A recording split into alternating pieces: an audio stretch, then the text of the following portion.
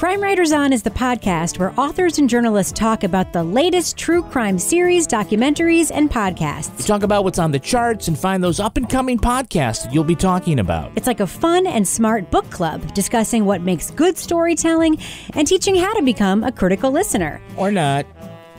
and stick around for the Crime Writers thumbs up, thumbs down reviews. It's the original True Crime Review podcast, Crime Writers On, wherever you get your podcasts. Like probably right here.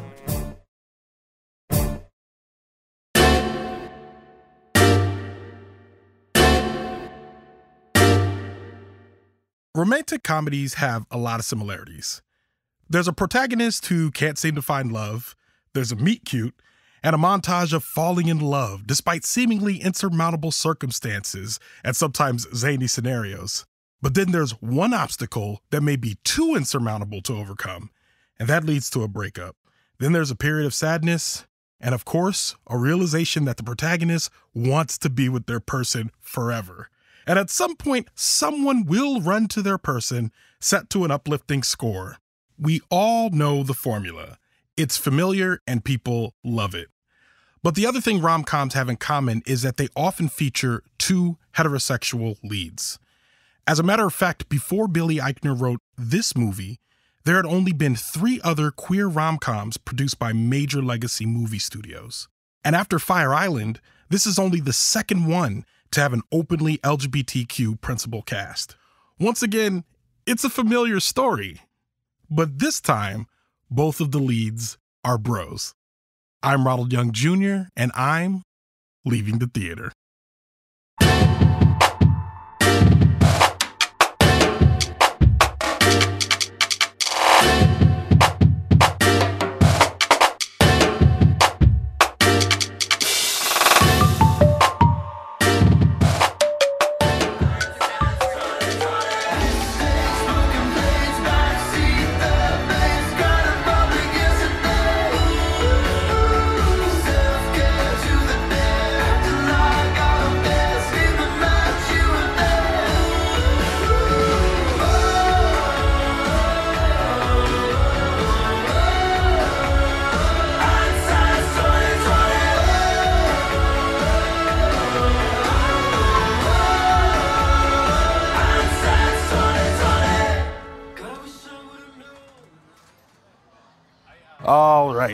This is Ronald, and I am leaving the theater after seeing Bros. Bros. Written by Billy Eichner and Nicholas Stoller, directed by Nicholas Stoller, starring Billy Eichner, Luke Macfarlane, T.S. Madison, Monica Raymond, Guillermo Diaz, Guy Branum, Amanda Bearse, Jim Rash, and Bowen Yang. And for a complete list of the cast, check the link in the show notes. I'm not here by myself. I'm here with Ben Angeloni. Damn, no love for uh, Miss Lawrence on that cast list. Just literally we left her off. It literally says for a complete list of the cast. Check I know the link in the every single other one of them. Okay, okay. Listen, there's there's a uh, we gotta. T.S. Madison above Miss Lawrence. I go by the Wikipedia page. so the Wikipedia page. Wikipedia page is homophobic. There you go. Go ahead. go ahead to Wiki- Wait. All right, we'll get in. We'll get into it. So, uh, for those that don't know, Bros is a romantic. We can hang out here. Uh, Bros is a romantic comedy, of course, written by Billy Eichner, starring Billy Eichner, and uh, man, I already forgot the other guy's name, Macfarlane. Luke Macfarlane. Yeah, Luke Macfarlane. Yes. Uh, so in this movie, it it follows all the beats of most heteronormative. Ah, see what I did there? There yeah, most heteronormative uh, uh, romantic comedies, in that you know, Billy Eichner is a successful person. He's in New York, uh, but he hasn't found love, and he meets Luke Macfarlane, and what follows is a romance tale, uh, tale of romance. Uh, we don't have to worry about there being a special Patreon episode for this because, in a lot of ways, it follows the beats of a very heteronormative uh, uh, uh, romantic comedy. Yeah, I couldn't even, couldn't even say rom com now, but uh, romantic comedy. With that in mind, what did you think? You know, I actually I liked it. I thought it was really hilarious. I thought all the humor hit really great places. Obviously, there's like certain things we can dissect and go into. Uh, but overall, yeah, I thought it was a, a really great uh, kind of first effort of this kind uh, of of story that you haven't necessarily seen. You've seen parts of it, like you said, uh, but there were definitely like coded parts that I think uh, for the queer community in ways that sometimes you know black uh, moviegoers will see in specifically black made movies, where it's kind of like, okay, are we opening our community up to other people? Will they understand all these references? Do they have to understand the references, or is there stuff in there that's like just for us? You know? I like that because you immediately make me think of like Black Panther or and it's always one of those things where I'm like, don't, don't definitely don't compare Bros to Black Panther. No, no, no, no. Whoever's listening, don't don't make that assumption at all. That is not what Ron is trying to say. the only comparison there is that as a movie that's like very cultural, there's going to be a lot of references in there that, and I feel like for me, I always watch a movie like Black Panther and I immediately get protective. Was there any parts of you watching this movie that you felt like, mm, that's not for the straights? Yeah, I definitely, you know, I was going to bring that up later. There were a a couple scenes, um, some of the sex scenes I felt like were like leaning in a little bit too much. And they were a little bit too like, hey, let's explain how gay people do things, right? We want to make sure y'all know it's a little bit different in our bedroom. So let's, you know, lean into the raunch and let's lean into the, uh, not BDSM, but you know, kind of the the alternative sexual lifestyle uh, that you know kind of made me feel a little bit iffy, not like uncomfortable, like watching a sex scene with your parents, but just a little bit like, okay, we didn't have to go that far. That's fair. I feel like there was a f- few times watching it where I wondered, I'm like, was this, is this a, a queer movie made for straight people? And I felt like, and I, and I was sitting there and I'm like, man, I hope I'm not contributing to the problem by just being in the room. Cause you know, like, there's places like, there's, there's like, there's sanctified black space where it's like, y'all don't need to be in here. You know what I mean? Right. But I had a moment in there where I'm like, well, obviously they know watching bros. I'm like, they know I'm here. And I say that because Nicholas Stoller directed it. And Nicholas Stoller also directed Forgetting Sarah Marshall, Get Him to the Greek, The Five Year Engagement, Neighbors, and he created one of my favorite underrated shows, Friends from College, which uh, on Netflix, if you don't know about it, it stars uh, Keegan Michael Key and a bunch of other people. I've never, literally never seen any of those movies. Not you have. What if I told you that you have? I haven't. See now, no, I'm telling you. That's what I'm saying. I think one? you. Well, I'm saying I'm not saying that you haven't seen it Oh, on purpose. like I'm saying, style. yeah, I'm Yeah, saying okay. based on because I think that was my biggest thing was sitting here and saying I understand why they got Nicholas Stoller for this. I understand why Judd Apatow was directing this because I feel like in a lot of ways they were they were really like if we're gonna do this, we got to nail a home run, and oh, that's how I felt about Black Panther. Oh, Yeah. What do you think? Yeah, no, I think a lot of it was kind of intentional tongue in cheek, right? Yeah. Like I definitely I definitely saw a lot of that in the film. Uh, and I, I think they really leaned into a lot of that, like we know straight people are watching. I mean, I think they acknowledge it Yeah. in all the trailers. Uh, Yeah. especially like, you know, the setup of an agent telling him he needs to make a rom com Yeah. that straight people can watch. It's very like, you know, almost meta, even though I hate that word. It's like really um, the best way to describe it, right? Is it's like, and I think there was a lot of like winks to the audience in the movie. Like Yeah. there was a lot of breaking the fourth wall. I think. Yeah.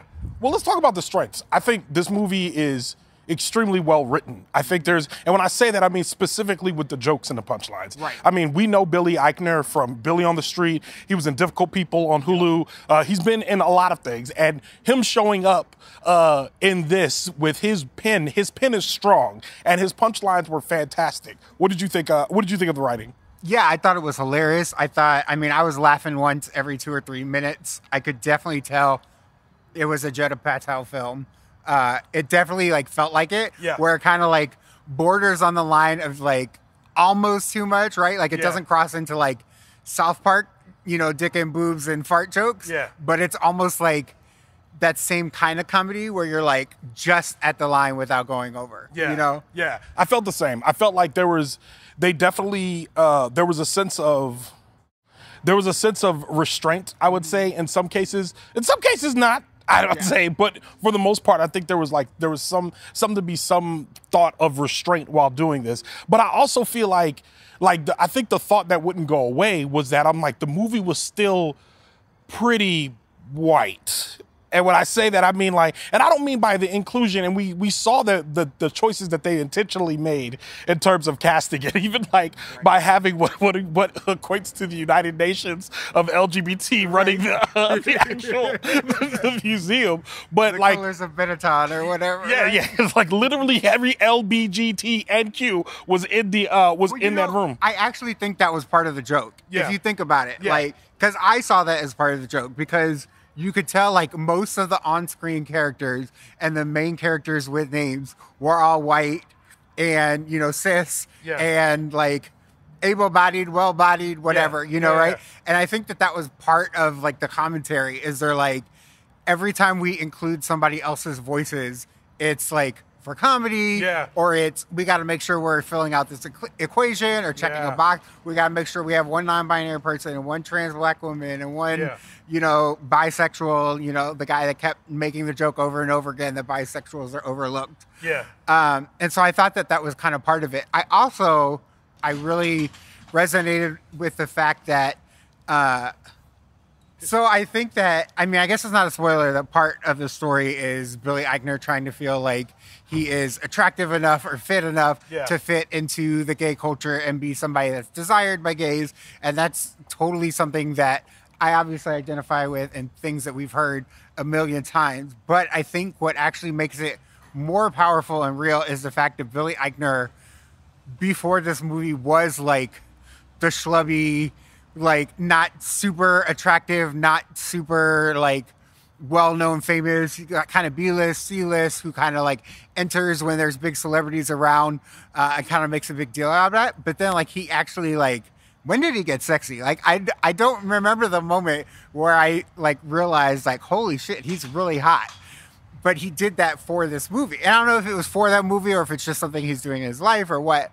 Uh, but I think that that parallel of like setting himself up for this movie definitely played into some of the plot of the movie. What did you think of uh, Luke? Uh, so we both agree uh, that Billy Eichner did a great job. What did you think of Luke Macfarlane between uh, 2015 and, uh, and, and two, 2015 and 2022? Luke Macfarlane had 12 Hallmark movies, 12, in which he was the, the, the, love interest. And this movie takes a lot of shots at Hallmark. What did you think of Luke Macfarlane's performance? Macfarlane. You know, I thought he was great. I thought he, uh, obviously, like, he's attractive as hell. You can't, like, not look at him when he's on screen, right? And I don't have much, I haven't seen much of his catalog. I know he used to be on Brothers and Sisters, and my mom would, like, call me every Sunday and be like, oh, they had a great storyline with the really hot guy and again, I think that's like part of the movie is that you have this guy that's just basically like eye candy, and you're like, okay, well, if if somebody who is not attractive can feel self conscious about not being not attractive, can somebody attractive be self conscious about like not being more substantial or smarter or funnier or any of those kind of things, right? So I think that it it hit on those issues very well with the casting of him. Uh, and I, I mean, I, he's delightful. I thought there's a lot of there's a lot of moments in the movie that maybe oh you know and kind of feel like oh i'm really rooting for them. Like i want this relationship to work. Uh, and it's more that like oh i want to be in a relationship like that and be like really cute and stuff like that? Or you know do i care about these characters because they're like well developed you know? Yeah i think uh, in a lot of ways i think that he was playing an archetype uh, and I think, and I guess I'm curious if that was on purpose. And I'm like, and, and, I guess I say that because, like, I thought in a lot of ways he was pretty forgettable. Like, I thought I didn't think his performance was as strong as Billy Eichner's. And I know there was parts of the personalities in which they're supposed to be very different. And there was definitely parts of the, the two certainly had chemistry going back and forth, which like that was undeniable. And I think the part that actually gets me about his performance is that I think I'm not sure if in embracing the archetype, he just it just showed up as an archetype. Because I think that's part of what when I was watching it, I, I didn't without thinking about it, just watching a romantic comedy, sitting here watching in front of me, I, I, it just felt like I, when it got to the end, I, I, I, thought to myself, well, that could have been anybody, like for Billy Eichner, because I'm like, really, the story is is the journey that Billy Eichner's right. on. You know what I mean? Like, but isn't that kind of like what rom coms are all about. Like, right? Isn't yeah. that just like um, not Renee Zellweger? What's the chick who was in Sweet Home Alabama? Oh, you're uh, Reese Witherspoon. Reese Witherspoon. Like, Yeah. isn't it just like a Reese Witherspoon movie Yeah. or any of those other like Hallmark Channel movies that we're talking about, where it's like the same Cameron Cameron Candace Burr or whatever her Yeah. name is, like Candace Cameron Burr. Thank you. It's it is forgettable, right? And it's like the same storyline repackaged over and over again. Yeah. But it's like, you know, it's like I'm trying to find a good comparison, but it's kind of like you know, like junk food, right? Like it's not good Yeah. for you, Yeah, and it's not going to stay It's familiar. a long time. Yeah. But it's familiar, and in that moment, it makes you really happy Yeah. and enjoyable, right? Yeah. And like, isn't that what an escape to the movies is for? Some of the time, you know. Yeah, I mean, I, I I'm not opposed to that. I think there. I guess that was the, the the most prevailing thought I had towards the end of the movie was. I mean, it was it was very predictable, which I think we know, and I and I'm I think that's the part where I get torn on with saying. I know again that y'all had to hit a home run for this because the last thing you want is for Yeah, people to say it wasn't good. Yeah, yeah. Right, Like you can't like there's because the truth is there's been plenty of queer films that have existed before this one. You know what I mean? That have been made by by plenty of other folks that did won't did not get the press that this one did. But this one went through some sort of like sanitizing like like approval process that allows it to be like kind of a big deal right now. Like they're talking about it on The Bachelor, like they're getting all this press, like Billy Eichner's running around doing it all, you know what And I I mean? th- well, I think the thing that's different about this one than a lot of the others is it didn't necessarily like sanitize the characters. Like Mm-hmm. I think a lot of other like queer cinema in the past has been stories about historical gay people that everybody knows, right? Like the Mm-hmm. Harvey Milks and the uh, Marsha P. Johnsons and all that. And uh, they also were like maybe acted by queer people, but not necessarily like produced Yeah. and put together by queer people. Yeah. And you could tell that this movie, obviously Billy Eichner is gay, but you can tell that the writing team, the acting, the lighting, like everything, you can tell. Um, I mean, I think it's really important to remind people that the entire cast is queer. Yeah. Right? Even Yeah. the ones playing the straight roles. Yeah. And to me, that was really cool because so many times we have this conversation and it comes up every single time you see a new Hollywood movie where there's a straight guy playing a gay character. Yeah.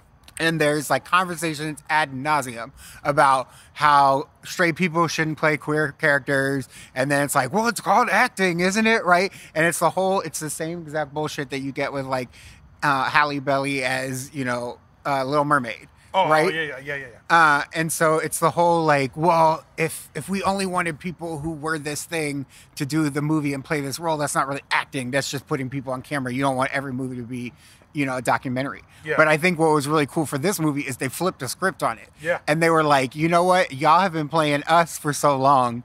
Let me play y'all and see how ridiculous it looks, right? And it was like almost the straight couples were almost a parody, Yeah. and you could kind of see that a little bit. Yeah. Well, know? Guillermo Diaz plays a lot of straight people. He's playing a lot of straight. does. Matter of fact, he plays Mostly serial killers, right? yeah. Well, I was gonna say I was thinking about him from uh, the Dave Chappelle uh, from Half Baked. You know what I mean? up, Yeah, exactly. Like what My most used yeah. of all time. Well, that's not from uh that's not from uh, uh Half Baked. That yeah, that's Yeah, from yeah, Chappelle yeah. Show. Yeah, yeah, yeah. But no, like I, I feel like I agree. I think the casting was it was definitely I think there was a lot of things about this movie that was a breakthrough. I think if I'm just a moviegoer watching it, I think there was a lot of things that it in terms of it being just a straightforward rom-com, I think if I judge it against other rom-com, I've seen better, but I've also seen a lot worse. Oh, yeah, definitely. So I think that's where I kind of land on it because I definitely think I definitely think the com is heavier than the rom. Uh, Right? yes, Like, agreed, it was- yes. it was a rom com that was actually funny and not just like a couple lines that tickled you, but like laugh out loud, like Yeah. spit. Like I was spitting, I was laughing so hard, right? But Like- see, this is why I think you need to see Forgetting Sarah Marshall because this is what Nick Stoller does. Like I feel he, like I saw it like on TBS one time. Yeah, maybe that's why because they might have like oh they sanitized that. Yeah, they took that out. But I mean, like this is, I mean, we're talking about because I'm sitting here watching this and there's a lot of there's a lot of beats in this that are a lot like Forgetting Sarah Marshall, where you have uh, I think it's Jason Jason Segel and um. I also just don't like him. so You know, that's really fair. like movies of his movies. That's fair. But I'm like, there's a lot of beats in it that felt familiar. And for me, watching this, it felt just a lot like a Nick Stoller movie, where I was just like, oh, okay, this is a Nick Stoller movie. But I think for me, the bigger victor, the bigger success is that the the the point of what they're making is that, uh, and I think we've all said it. I think about this a lot with black film is that like black films can be the gamut. They don't have to all be great. You know what I mean? They could be horrible, good, bad, because we've had a lot of times for people to make a lot of like mediocre films like that run the gamut. Like every black movie doesn't have to be good. And I think the same could be said of like of queer stories. I don't think this was bad by any means. Right. But I definitely don't think it was like it did not blow me away, I would say. It's not going to get any Oscar noms. Yeah, no, and it's funny. Even though he had a long, he had a long monologue in the middle where I'm like, Right. oh, you, you, you shooting for the Oscars with this Right, one. right.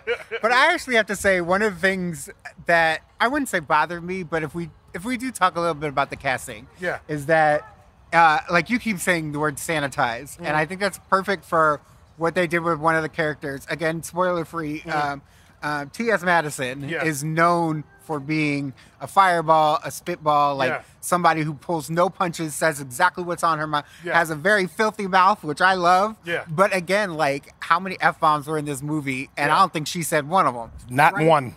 and so, like, I feel like they kind of like made a little bit of a character caricature of her as well, in the fact that like she was probably brought on to be quote unquote comedic relief and like the like over the top clown, and like I didn't see any of that at all from her, right? It was a very subdued performance. Yeah.